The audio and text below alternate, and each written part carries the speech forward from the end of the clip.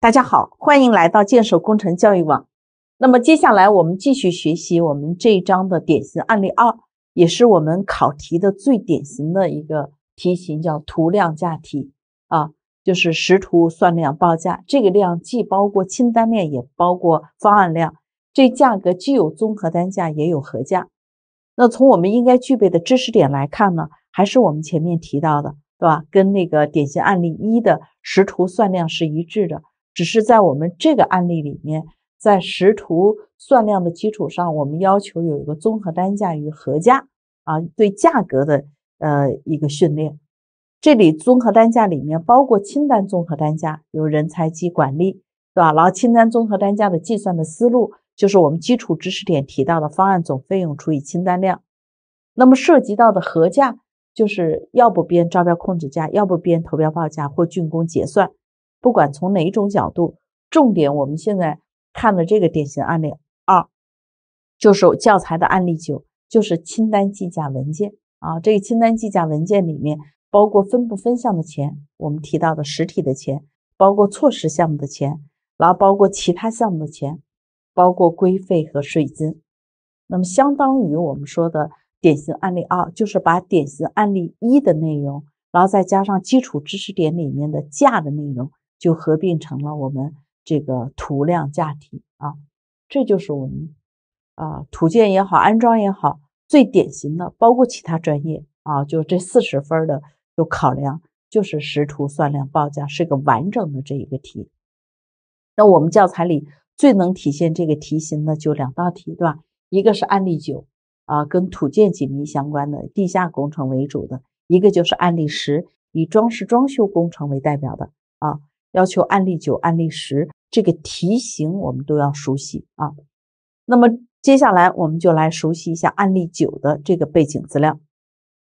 某工程的建筑面积是一千六百平米，这个建筑面积在我们算量的时候算是呃基数，就是计算基数。以前手算的时候，但其实现在我们在清单量的时候，这建筑面积也会经常用到。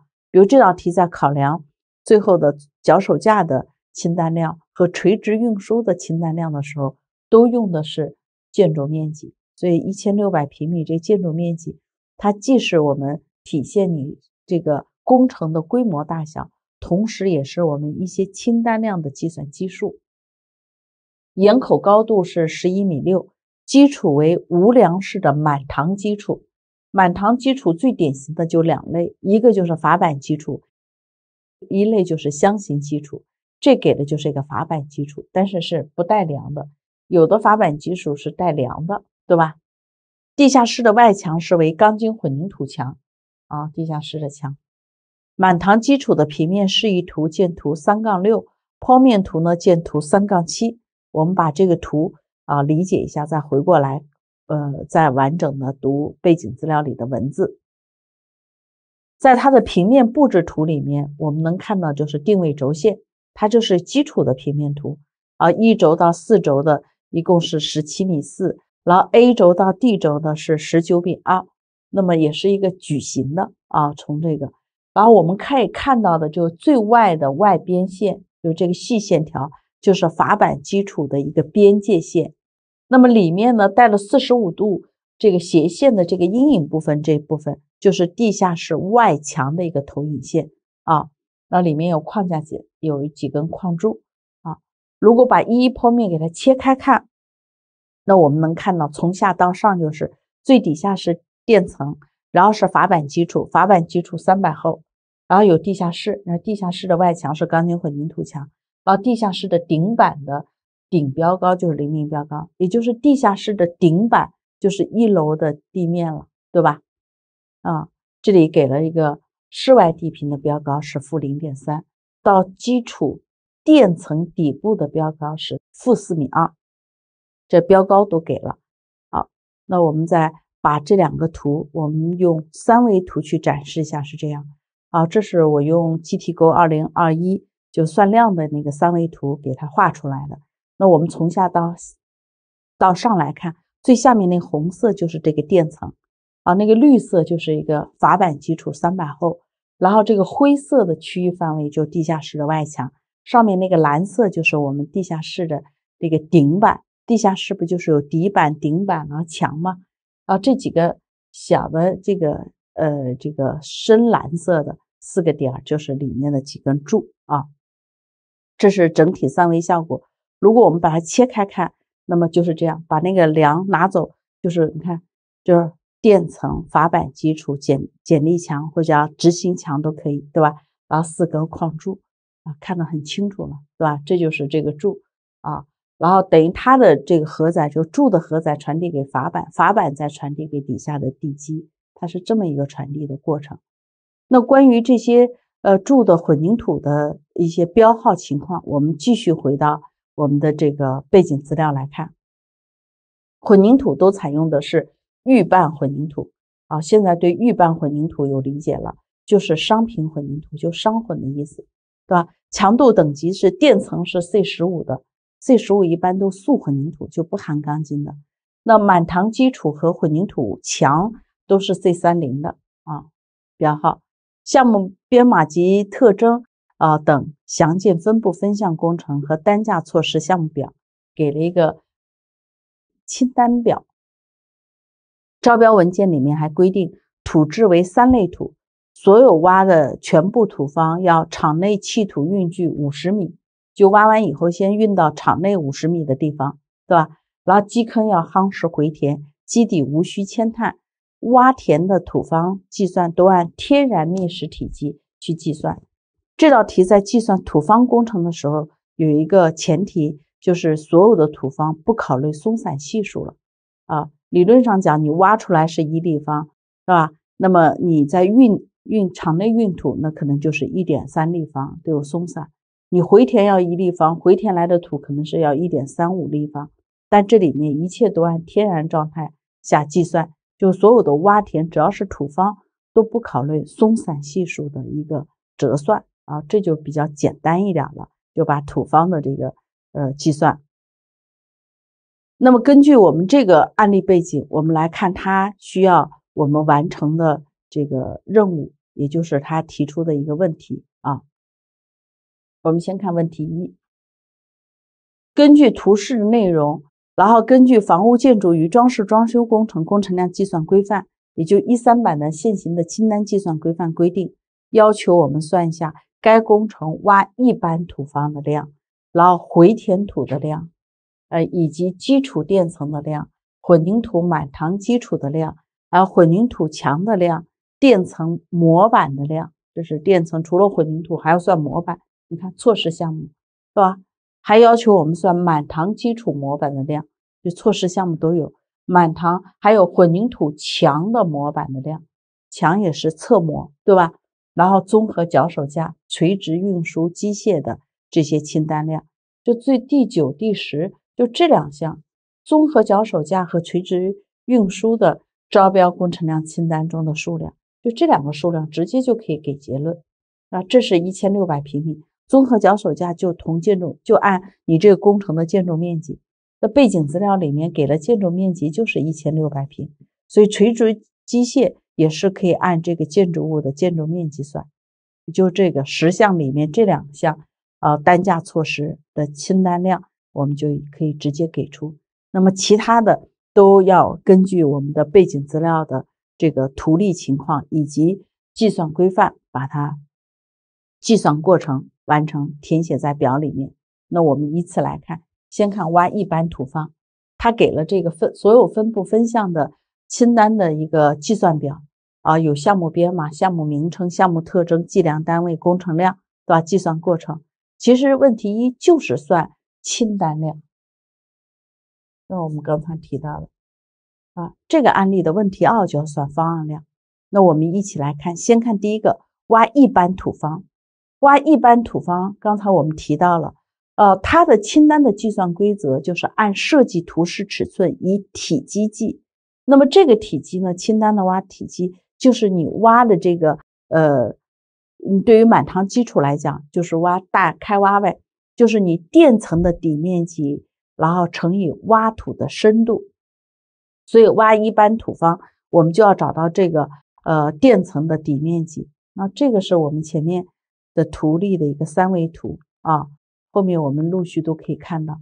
那我们的底面积是挖做清单量的时候是直上直下的挖啊，就是直上直下啊，不需要你这个呃去放坡。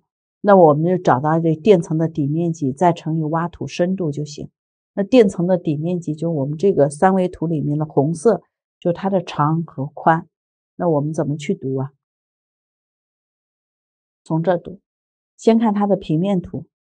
平面图给出的十七米四和十九米二，先看它这个定位轴线尺寸定到哪？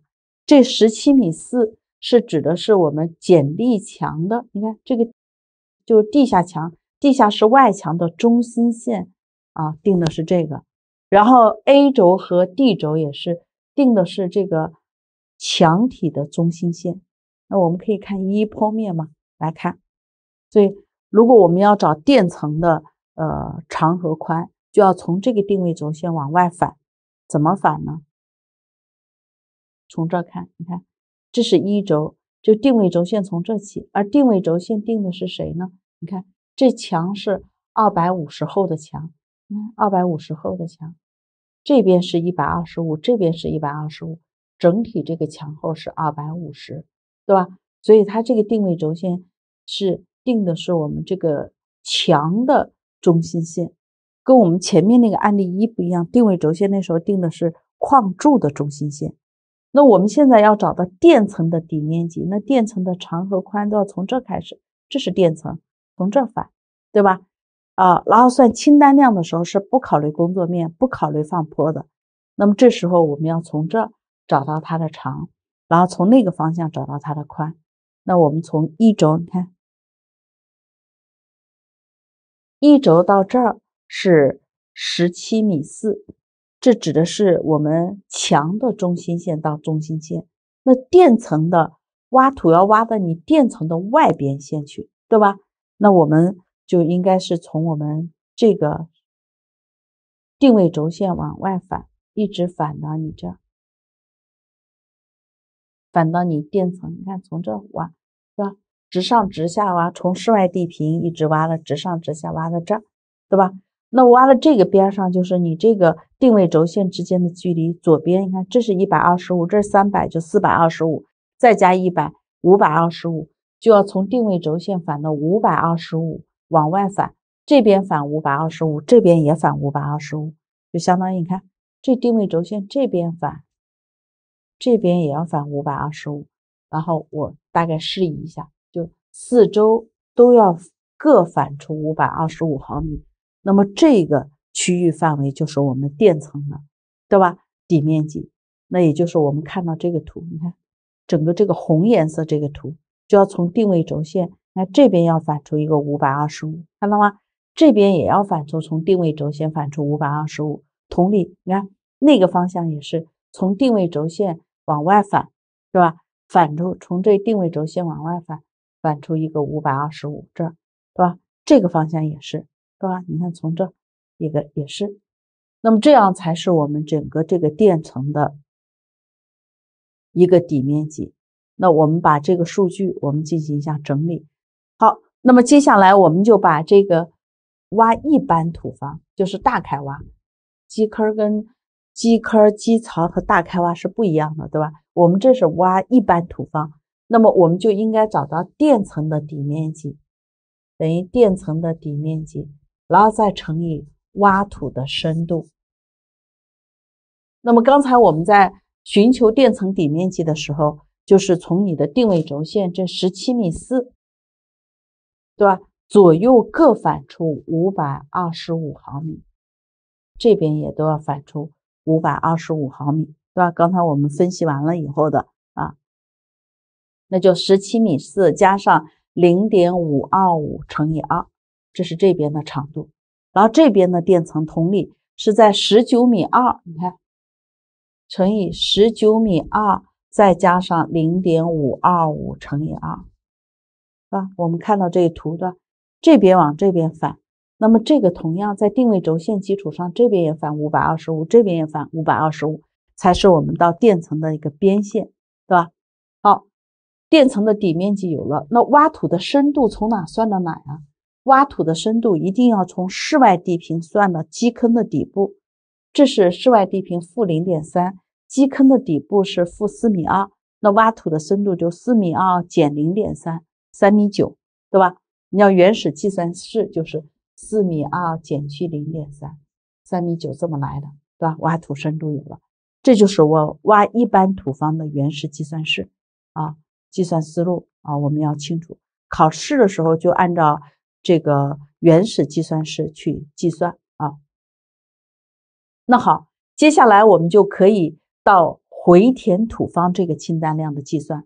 刚才我们已经把挖一般土方计算完了，然后把垫层的混凝土量算了，法板基础的混凝土算了，混凝土墙也算了。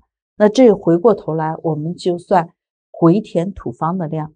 那么这个回填土在清单的回填量的时候。我们的思路是这样的：首先，我们找到它的挖土方的量，把挖土方的量减去室外地坪以下所有的实体体积和中空密体积，就不需要回填的部分都要减去。那减去谁呢？一要减去垫层，肯定要减；然后第二要减去法板，要减；第三减谁呢？减那个地下室外墙所围成的所有的体积，就地下室外墙以及。就是外墙里面中空部分都不需要回填，所以减去时应该是室外地平以下，室外地平以下外墙所围成的体积，对吧？哎，是要把这些减了。我们用图例的方式，我们来看一下，就是呃，从这个图例，这两个图例，基础回填的时候，我们就需要。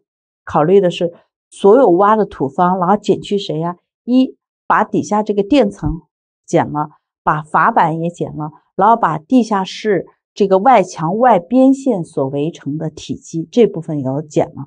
但是一定减的是室外地平以下的这部分外墙外边线所围成的体积啊，这点是要清楚。那么这个体积具体计算的时候跟谁有关啊？我们回到我们的。这个教材里这个图来看，地下室外墙啊所围成的这个体积啊，我们就要找到你这外墙的长、外墙的这个高，对吧？以及外墙的宽，长乘宽乘高，要算到这个体积，从这算到这，就是从定位轴线到这儿。然后高度范围呢，是从负的零点三开始，一直算到这高度。是吧？三米八到零点三的区域，就是你真正不需要回填的是这个高度范围。三米八减去零点三，就是三米五这个范围内啊。那么这个外墙外边线所围成的体积跟长、宽、高有关。长就这个外墙外边线就是十七米四，这边加一个一百二十五，这边再加个一百二十五，就加零点二五。就一直要算到这个墙的外边线啊，这个墙的外边线，然后这边也是墙的外边，十九米二，这边加个一百二十五，那边也加个一百二十五，那加个二百五十，这是到了外边线了啊。这墙的外边线的长乘以外边线的宽，那么这个高呢，就是我们说的室外地平以下这个墙的高度范围。那么应该是从负的零点三一直算到三米八，就刚才我们讲的三米五。所以有了这个数据，我们再回到我们刚才讲的这个原始计算式来，那就是这几个数据了。讲到回填的时候，我们继续看回填的挖土方的体积，我们有了垫层的体积，有了法板基础，有了，现在就是室外地平以下外墙所围成的这个呃体积。那么我们先找到这外墙的外边线。它的外边线的长是它的定位轴线，刚才我们分析完了以后是它的十七米四，是吧？再加个零点二五，这是它这个方向长。那个宽呢是应该十九米二，再加个零点二五，它的宽，然后再乘以它的整个高度是刚才我们分析的三米八减去零点三，你就三米五。这个就是室外地平以下外墙所围成的体积。那么在算这个的时候，大家注意，容易出错的一个就是高度范围啊，就直接从零零标高往下算了。你的回填只是挖土方的那部分，室外地坪以下要扣的体积啊，不是你整个的，不能把这个前面算的混凝土墙的体积整个拿来扣了，这就乱了，对吧？这就错了，对吧？所以这点要清楚。好，那么到这儿我们就把它要算的一共十项的清单量，我们开始呢就把综合脚手架和垂直运输这个用建筑面积这两项算了。啊，前面这五项算完了，那就七项，剩下呢就几个模板了，一个是垫层的模板，一个是满堂基础的模板，还有个混凝土墙的模板。那我们一个个来看，先看这个垫层的模板。垫层的模板呢，我们先得找到模板垫层的模板跟谁有关啊？只跟它的侧面有关。你看，整个这是一个垫层，底下是整个是开挖完了以后直接做。对吧？上面是要直接起法板基础，所以我们垫层的模板就这个侧面，就这个侧模，一个面儿、两个面儿、三个面儿、四个面儿，这个这个侧面的面积啊，那侧面的面积就是你这个垫层的长乘以这个垫层的高，也就是厚度，这不就是吗？对吧？你把这四个长度就周长算出来，乘以这个高度，这不就是？它的垫层的那模板的工程量嘛，因为模板的工程量就是按照我们说的这个呃接触的跟混凝土接触的一个面积，所以垫层的面积就是我们的四个侧面的一个面积啊。那四个侧面我们要找到这个侧面的周长，那就又回到我们前面这个垫层的长，是吧？垫层的长，我们前面提到过，垫层的长在这儿，垫层的底面积，这不是垫层的长吗？垫层的宽，原来算底面积是长乘宽，现在我们要的是直接是它的周长，对吧？它的周长再乘以它的这个呃垫层的厚度，所以现在如果我们要求模板垫层模板清单量。就把原来垫层的底面积长乘宽，把这个长和宽把它加起来乘以二，就是十七米四加上零点五二五乘以二这一边，再加上我们的十九米十九米二加上零点五二五乘以二，对吧？再把这两个都加起来乘以二，就周长，然后再乘以零点一。这个就是我们垫层的模板的面积。那对于法板基础的这个呃模板，同理，法板基础的模板也是一个侧模，因为底下的就是有垫层了，上面就直接就当地下室的底板了，所以它需要做的这个呃法板基础它的模板就是这个侧模。所以我们把呃这个案例一跟这个案例合在一起，它里面的措施项目都提到了模板。前面我们算的是梁和板的模板，这个算的是垫层跟法板基础。你看一会儿还算墙，所以你看柱梁板墙这些模板我们都要清楚，都是按面积算。那么你看这个面积就是我们找到这个法板的这个外周长，就是我们看到这个土力的，对吧？这外头这一圈细的这个这个线条外周长，再乘以法板的厚度零点三，就是我们。法板基础模板的一个工程量，那我们直接在这，就在它原来的这个基础上，原来法板基础算混凝土量的时候是长乘宽乘厚，我们就把原来的长，看十七米四加零点四二五乘以二，在它把原来的宽十九点二加零点四二五乘以二，把它的长和宽把它加起来乘以二，变成一个外周长，然后再乘以一个零点三，对吧？所以我们把这个。如果我们把它变化一下，这个把它变成是法板的模板量，那么原始计算式就把原来的这个长和宽，把它长十七米四加零点四二五乘以二，对吧？然后再加上原来的宽是十九米二，再加上零点四二五乘以二。把这长加宽加上乘以二，就变成了一个整个是周长，对吧？整个一个周长，外周长，然后再乘以零点三，这个就是法板基础的模板的量就有了，就是侧模啊，就就周长乘以高度。好，那么最后一个模板呢，就要我们求这个墙的这个模板。这个墙的模板，我们特别注意，就是墙的模板侧模要分成两个方面去计算，一个是墙的外侧模，就是墙的高度乘以这边的墙长，对吧？那么它的高度外侧模是从负三米八一直到零零标高，就三米八的整个高度范围。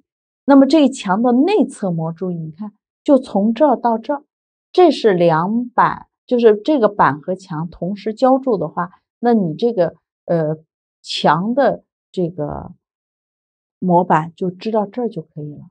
所以这个墙的内侧模在支的时候高度是三米八到这底下，这个是零点零零标高，这是负零点二，所以到三米六就可以了。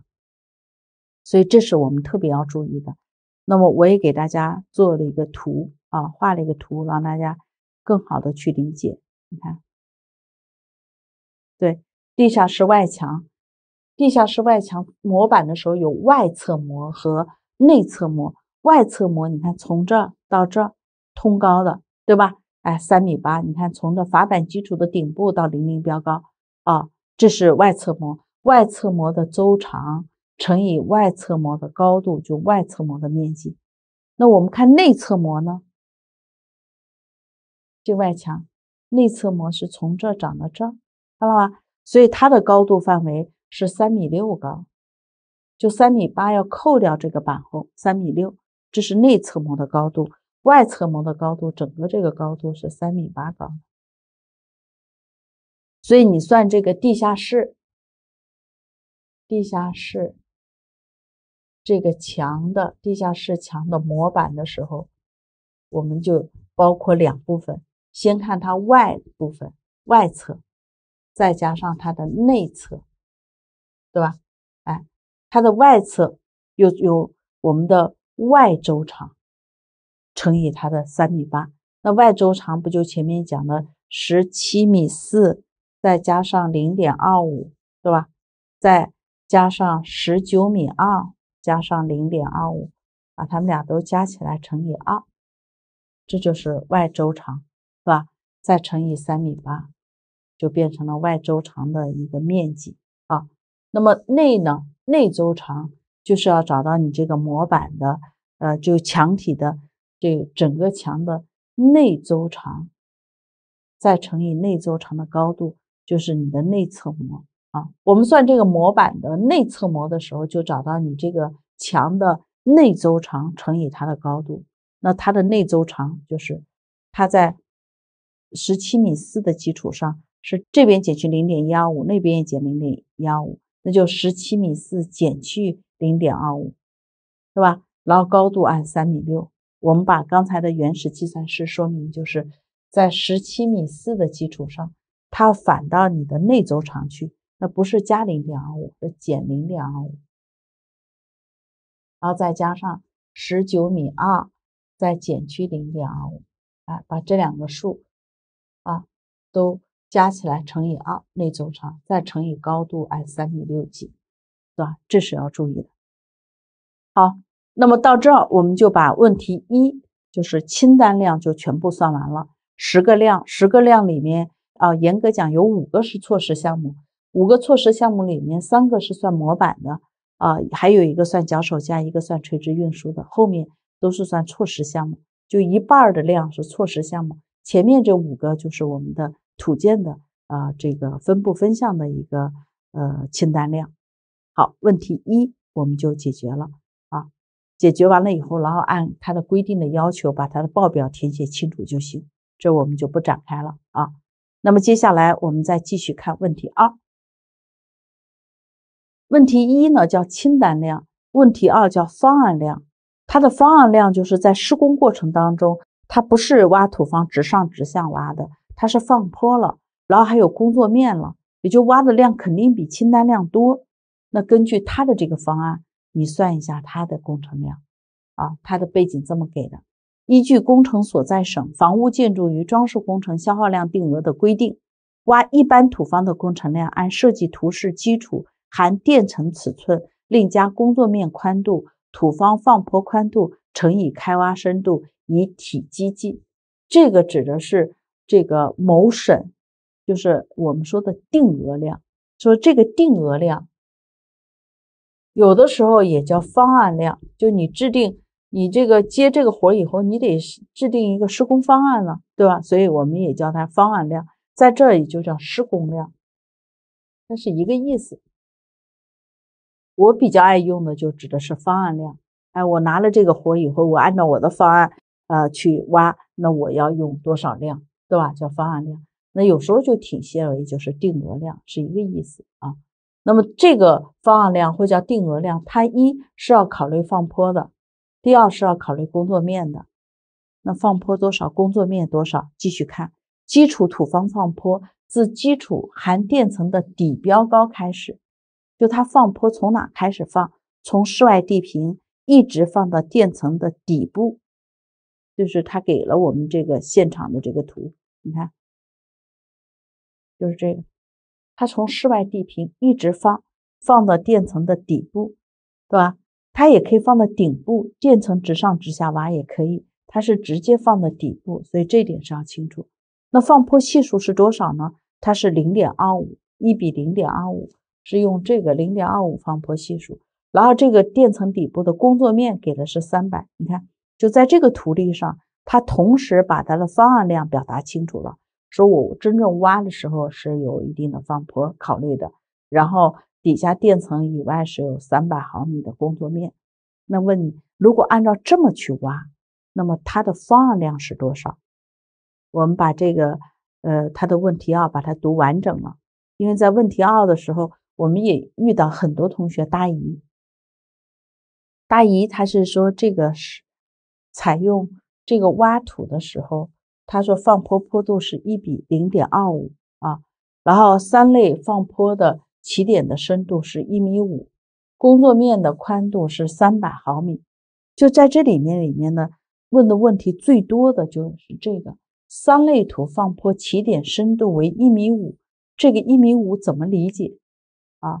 我先说正确的理解，正确的理解就是说。如果我们这个地方的土质是三类土，因为土可以分成一类到八类，对吧？前四类叫土，后四类叫石头，三类土就比较坚硬的土。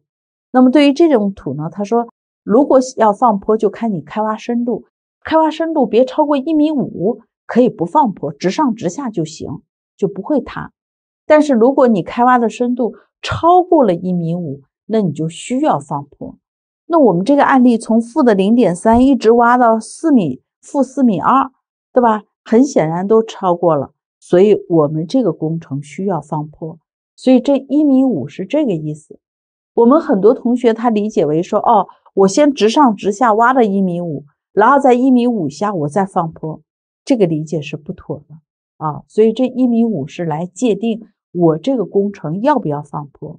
啊，它不是说你先挖到一米五，我们再去放坡，所以这个呃要正确的理解，这个大意的比较多。第二个，有的同学质疑说，你都采用机械挖，你看他不都都采用机械挖土啊？放坡坡度是坡度系数是零点二五。他说我们呃按施工的工艺来讲啊，他说你最起码底下要留二三十公分吧。是要人工挖去找平，你不能直接机械挖到底。但这是定额，他定额说是这么说，但实际上他说用机械挖，他那个定额里面给你那些消耗量里面已经包含了人工配合挖的那些数量，都考虑在里面。所以不要把它当成改错题啊！你很多学员就说呀，这个不妥了，都错了。那么人工可以直接挖到底，机械不能挖到底啊，机械应该挖的。这个是不是垫层的顶啊？然后底下再有考虑是人工挖等等，那么这个是这样的，对吧？它是直接采用机械挖，直接挖到顶，然后它的那个定额数据里面，它其实是考虑了人工啊，最后找平的那部分的钱的量的，所以这个不要去质疑它。好了，那么这样我们就知道了这个呃方案的这个挖土的一个施工方案，以及这个挖土的方案的对应的一个定额的计算规则，然后让你按照这个站位站在谁呢？站在招标控制价的角度，说你在编制招标控制价的时候，你要考虑一下你机械挖这些土回填土的一个施工方案量，对吧？就扮演招标人的角色。那招标人编招编招标控制价，他那个综合单价，你也要编制一个常规的方案。他说，按照这个地区来讲，比较常用的是这种啊，那就是挖方案量是多少，然后回填土量是多少。那我们一起来看一下，这时候的我们机械挖土方量跟我们刚才挖的区别在哪呀？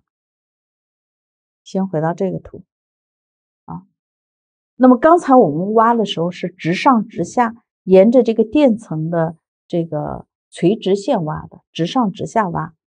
那么现在呢，我们在挖的时候是放坡挖，肯定多挖了，对吧？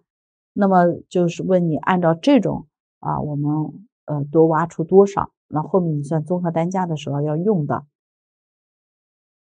那对于我们的理解就是，现在就变成刚才是挖一个立方体，就现在挖的就是一个棱台，对吧？那你挖这个棱台，那你就是这个体积，还记得这个体积不就可以是你考虑 a 加 kh，然后再乘以 b 加 kh，再乘以 h，再加上三分之一 k 平方 h 三次方，对吧？用这个就可以，这个棱台的这个体积就可以把你的机械挖的方案量套进去。所以这个 a 就是你现在挖的放坡的。底部的长度是多少？那现在在原有长度的基础上，你看这又加出三百来，对吧？你再一直从这定位轴线的基础上一直加到这儿，那你现在这个 A 就要最起码要加出在原有的基础上要加上一个五百二十五，再加三百，那就是八百二十五。就在你原有定位轴线的基础上再加个八百二十五，这个 B 也是。沿着这个方向，这个方向就十九米二的这个方向，然后这边也是要加出一个八百二十五，这边也要加出一个八百二十五。就考虑完就工作面以后的这个 B，KH 呢？K 就是放坡系数零点二五，H 就是你挖土的深度，你挖土的深度就从室外地平负的零点三一直到负四米二，就是三米九呗，挖的。开挖的深度就是三米九，对吧？所以这 H 就直接带三米九进去就行啊。那么其他的数据都是有的，K 就是零点二五，H 就三米九，然后 A 和 B 就是你垫层考虑完工作面的最外边线的这个长度啊。这个就是我们的呃方案的机械挖土方量啊。那我们来看一下我们的图例。啊，我画画了一个图啊，画图的时候就是大开挖，这时候挖的放坡呢，放坡到垫层底，然后用大开挖的方式，工作面用了三百，放坡系数用了零点二五。那我们再看看这个图，就是你看在挖的时候，看整个这个体积就蓝颜色出来的这个区域，就是我们一个挖土方的一个体积的一个示意图，它是一个棱的斜着的，对吧？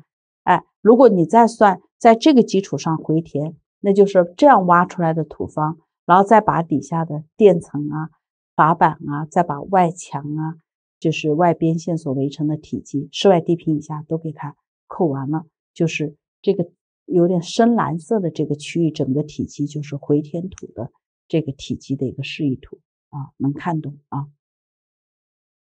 好，那么这样我们就可以把这个呃。方案量它的原始计算式，我们就可以出来了啊。我把这个机械挖土方的这个方案量原始计算式给大家表述一下，出来的量就是它的计算方法，用教材里那个方法也是可行的，对吧？我刚才是用 a 加 kh，a 呢就是我们刚才看的这个十七米四这个位置，再加上了零点八二五。乘以二，对吧？零点八五是考虑了工作面以后的这个长度，那么用我们刚才的公式就是呃 A 加上 KH，对吧？这是 A，就考虑了工作面以后的长度，再加上 KH，K 就是零点二五，H 呢就是三米九。好，再乘以啊 B 加上呃 KH，B 就是这边的十九米二，就乘以这边十九米二，再加上零点八二五乘以二，再加 KH 就是零点二五乘以三米九，啊，再乘以 H 三点九，就 A 加 KH 再乘以 B 加 KH，对吧？再乘以 H，然后再加上三分之一的 K 平方。就零点二五的平方，再乘以 h 的三次方，三点九的三次方，啊，那么乘出来以后，这些数据等于一千七百零五点七，一千七百零五点呃七零立方米。好，这就是我们的挖一般土方的时候，我们的方案量。啊，就考虑了放坡和工作面。那我们再来看一下回填土的方案量。那回填土的方案量跟我们刚才算清单量的思路完全一样，就一个数据动了，就是用我们的土方的时候用的你方案量的土方，减去你垫层的体积，减去阀板基础的体积，再减去地下室外墙外边线所围成的体积，对吧？哎，所以算这个回填土的时候，就是这个呃。土方的量用的是方案量，其他都是一致的。那我们可以看一下它的最后的这个方案回填土量是多少？我们来看一下它的原始计算式啊。刚才我们是把机械挖土方的量我们算出来了，是一千七百零五点七零。当你可以用教材里这个公式也是可以的，我给的也是一个棱台公式。那方案的基础回填土量呢？你看。还是用你的挖土方的量，然后减去你室外地坪以下所有呃这个该扣的体积里面，你看扣了谁呀？用你的挖土方的方案量减去一个垫层的量，减去一个阀板的量，然后再减去地下室外墙啊，就是室外地坪以下地下室外墙所围成的一个体积的量，最后得到是三百五十七点零五立方米。这是我们方案的回填土量，所以方案的挖土和回填都比清单量要多，对吧？当时我们清单量，我们来看一下啊，清单量我们当时挖的时候是挖了一千四百五十七点零九，一千四百多。现在我们方案量是挖了一千七百多，多了三百多立方。然后回填的时候，当时我们的清单量的时候是一百零八点四四。那我们现在方案量的时候是一共是三百多，是吧？三百五十七点多，多了大概啊一百多立方，所以我们的清单量啊跟方案量去比呢，是方案量都大于我们的清单量啊。基本的思路是这样，大的一个原因呢是呃我们考虑了放坡，考虑了工作面，所以你这个多挖的这部分，你在组综合单价的时候一定要考虑进去，对吧？好，那么问题二我们就给大家分析到这。问题二我们归纳一下，就是方案量怎么算？问题一就是清单量怎么算？那我们下面就跟着进入到问题三，就是问你综合单价怎么组？